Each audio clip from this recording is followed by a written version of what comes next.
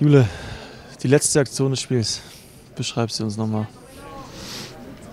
Ja, also ich glaube, ähm, wir haben natürlich nochmal so ein bisschen darauf gehofft, dass wir in der letzten, letzten Minute auch nochmal echt eine gute Chance kriegen. Ähm, Matt äh, spielt dann den Ball raus auf, auf äh, Julian, der natürlich eine super Flanke macht. Ich habe tatsächlich es ganz gut geschafft, mich, mich frei zu laufen. Der Ball kommt genau dorthin und äh, ich will ihn dann am Ende wahrscheinlich auch ein bisschen zu genau setzen. Ich meine, die haben äh, also sicherlich einen, einen, herausragenden Torhüter äh, bei sich im Tor. Äh, da will man, will man ihn schon, oder glaube ich, da muss man ihn, glaube ich, schon sehr, sehr genau auch köpfen. Ähm, war, war wohl ein bisschen zu genau. Es gab ja kurz zuvor auch den Lattenschuss von äh, Jamie, war es, glaube ich. Äh, wie bitter ist das, wenn man mal die letzten 20 Minuten nimmt, speziell auch nach dem Anschlusstreffer, dass man hier doch als Verlierer vom Platz gegangen ist?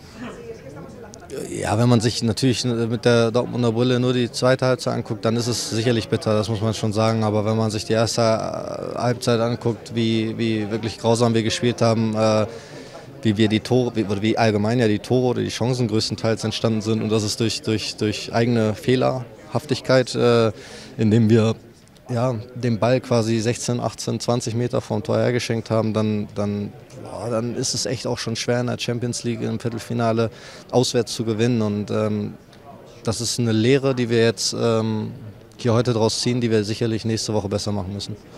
Ähm, du bist zur Halbzeit reingekommen, du warst ja auch noch mit in der Kabine, hast die Ansprache wahrscheinlich noch mitgehört. Äh, was hat Edin euch damit auf den Weg gegeben? Was habt ihr vielleicht auch angepasst im Vergleich zur ersten Halbzeit? Genau. Ich musste mich ja ein bisschen warm laufen, damit mir nichts passiert in der zweiten Halbzeit muskulär. Deswegen habe ich nicht, nichts groß mitbekommen. Äh, deswegen äh, kann ich dir da jetzt tatsächlich gar nicht so viel genau sagen. Ich habe jetzt aber auch schon ein, zwei Jahre hier gespielt und weiß oder kann mir sicherlich auch gut vorstellen, dass, dass da genau darüber gesprochen wurde, was wir falsch machen, dass da sicherlich auch äh, die ein oder anderen Namen genannt wurden und dass das vielleicht, das muss nicht sein, aber es vielleicht auch ein bisschen lauter wurde und äh, wie auch immer oder was auch immer dort gesagt hat, das spielt jetzt keine Rolle mehr, weil die Jungs haben dann auch ein besseres Gesicht gezeigt oder wir alle zusammen haben ein besseres Gesicht gezeigt und äh, das ist das, was zählt. Trotz alledem, wie, wie ich eben schon gesagt habe, das ist wichtig, dass wir das nächste Woche von, von Minute 1 an machen und nicht fest von Minute 46.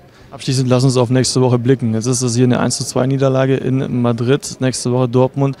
Das wird ein Hexenkessel, das Stadion wird brennen. Was äh, können wir da erwarten? Macht den Fans Mut.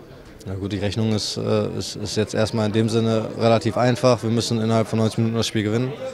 So, und dann äh, schauen wir weiter, ähm, dass wir uns auf die Fans verlassen können. Da bin ich mir relativ sicher. Ich meine, wenn wir die letzten Wochen uns angeschaut haben, was äh, sie da teilweise bei uns zu Hause im Stadion abreißen, äh, ist, ist, ist ein Wahnsinn. Äh, großen, großen Respekt davor. Und dementsprechend, das, ist, das, das sollte nicht unsere Sorge sein. Ich glaube, das Stadion wird da sein. Ähm, aber wir haben jetzt, wir haben jetzt bevor, das, bevor es dann losgeht gegen Atletico, müssen wir ein, gutes Spiel in Gladbach machen. Das ist wichtig, dass wir äh, ja, mit, mit Wind im Rücken dann äh, am Dienstag dann das Spiel bestreiten und ich glaube, dann, dann werden wir da sein.